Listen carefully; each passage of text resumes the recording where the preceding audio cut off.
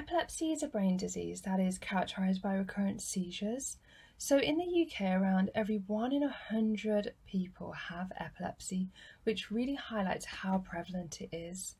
So in epilepsy, the characteristic hallmark is a seizure. And so in every person we have a brain and our brain is responsible for sending signals around the body to tell the body what to do.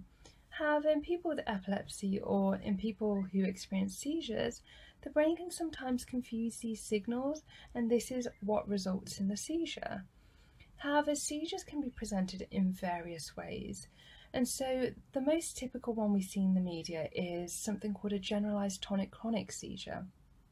And these are the type of seizures where muscles often stiffen and start to jerk and from the outside they can look very dramatic and quite violent. But you can also have something called an absence seizure and in these seizures individuals may stare into space and look like they're almost daydreaming. And so knowing this, it is really important for us to educate ourselves on the type of seizures that are present in people with epilepsy. Overall, there is a largely positive attitude towards epilepsy in society. So this is really showing to us that as a society, we are evolving to be more understanding and more accepting towards with um, towards people with disabilities. And again, in epilepsy, around 70% of people actually experience a remission of seizures.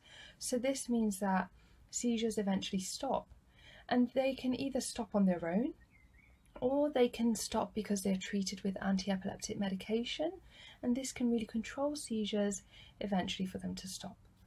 However, there are still high rates of stigmatisation and discrimination in people with epilepsy and this can be occurring across childhood as well as all the way through adulthood and in childhood this can be seen in schools, it can be seen at home and for example, in adulthood, this can be seen in the workplace. And stigmatization can actually lead people with epilepsy to isolate themselves from society, and this only worsens the rate of mental health in this population. And so, as a society, it's really important for us to close that gap to ensure that people with epilepsy are no longer treated differently because of their disease. And a way to do this is to really start to understand what epilepsy is firstly and why seizures occur and how we treat them. So the handout attached really explains what to do when someone is having a seizure.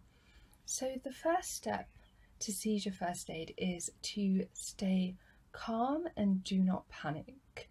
It can be very scary if someone ha is having a seizure, but if you um, start to panic, it really translates to everyone around you and then they start to panic and it becomes quite a stressful event for the person having the seizure. The first step is if you're a child is to call an adult to come over and an adult will firstly place something under the person's head so they don't injure themselves when they're having the seizure. The next thing, thing to do is to time the seizure. So if a seizure occurs over a period of five minutes, it's really important to then call the ambulance because then they will have to help the individual. After the seizure stops, if it stops under five minutes, the next step would be to put the person in the recovery position. And this position is really to ensure that the person can feel safe after they've had the seizure and to ensure that their airways are not blocked. So after the person's had the seizure, they can often feel very drowsy, they can feel tired, and they can often be confused about what their surroundings are or where they are. So it's really important for you to be present with the person and to calm them down and ensure that they're okay. The two main rules when a person is having a seizure is as to what you shouldn't do is number one, try and stop them having the seizure or to place something into their mouth and this can be because it can actually cause them a lot more injury than the seizure alone and it can also be dangerous to you as well.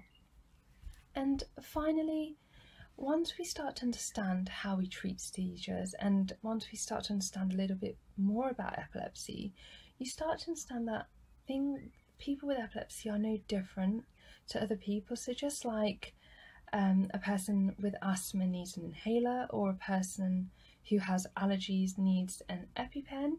You can think of a person who has epilepsy just experiences seizures, and it's really important for us as a society to ensure that we're not treating people differently and we're not discriminating against disabilities.